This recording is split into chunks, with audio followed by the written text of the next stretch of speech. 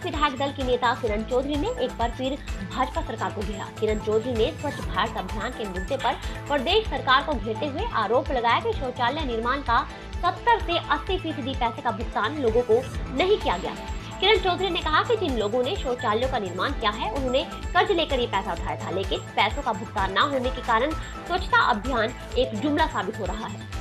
कांग्रेस नेता किरण चौधरी भिवानी में पत्रकारों से मुखातिब हुए और मौजूदा भाजपा सरकार को आड़े हाथ लिया। इस दौरान किरण चौधरी ने प्रधानमंत्री नरेंद्र मोदी को भी घेरे मिला और कहा कि प्रधानमंत्री ने 2014 के लोकसभा चुनाव की शुरुआत हरियाणा प्रदेश के रेवाड़ी की धरती पर की और देश के जवानों को वन रैंक, वन पेंशन देने का वादा किया था। लेकिन आज भी देश के सैनिक वन रैंक, वन पेंशन को लेकर जंतर मंतर पर धरने पर बैठे हैं। इसके अलावा किरण चौधरी ने बीते दिन, यानी मंगलवार को प्रधानमंत्री के कुरुक्षेत्र दौरे पर भी तंज कसा। उन्होंने कहा कि इसी तरह के कुछ जुमले प्रधानमंत्री कल कुरुक्षेत्र की धार्मिक नगरी में बोलकर गए। किरण चौधरी ने प्रधानमंत्री पर टिप्पणी करते हुए कहा कि धर्म नगरी में बोली गई झूठ की पट्टे ज़रूर खुलेंगी। इसके अलावा किरण चौधरी ने मौजूदा भाजपा सरकार पर कई अन्य मुद्दों को लेकर भी आरोप जड़े। सारे झूठ के बुलंदे पाँच साल जो है कुछ नहीं करके दिया। जो है हरियाणा को जो है आग के अंदर झुलसा दिया, सारा बेरोजगारी का आलम कर दिया, कानून व्यवस्था ठप कर दी, सारा कुछ जो है किसान बर्बाद कर दिया, नौजवान महँगाई इतनी कर दी। मुद्दे क्या मैं कहती हूँ, ये तो ऐसा हाल कर दिया कि आदमी लोग बोलते हैं, जी, अब हम बोले क्या? इतने सारी चीज़ें होगी। आज जो इन्होंने प्रॉमिस करा था वन रैंक वन पेंशन वो तो आज तक अधर में अटकी हुई। सारे के सारे जो हमारे फौजी भाई हैं धरना स्थल जो है जंतर मंतर के ऊपर अभी तक बैठे हुए हैं।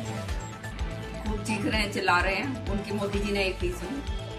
अब जो है, कुरुक्षेत्र की जो धर्म नगरी में आके जो ये बात करी है ना तो भाई धर्म नगरी है वो, और वहाँ से इनका झूठ की जो पड़ते हैं ना, वो सारी की सारी अच्छी तरह से खुलेंगी। तो जैसे मैंने कहा, स्वच्छ भारत की बात और महिलाओं की बात इन्होंने जो करी। टॉयलेट्स जो कहते हैं, हमने सारे बना दिए। लेकिन मैं पूछना चाहती हूँ मोदी जी से कि हमारे टॉयलेट्स बन गए। पहली बात तो ये है कि उनके एक तो पैसे नहीं आए, जो हमारे शौचालय गाँव गाँव के अंदर बने। मेरे पास इतने सारे आवेदन हर एक गाँव से हैं, मैंने पूरे दौरे करे हैं। मेरे ख्याल में सत्तर से अस्सी प्रतिशत जो है अभी तक उन शौचालयों के पैसे जो हैं वो नहीं दिए गए। अरे आय दुगनी कहाँ से करोगे? जो उनकी लागत है वो ही नहीं पूरी देते आप।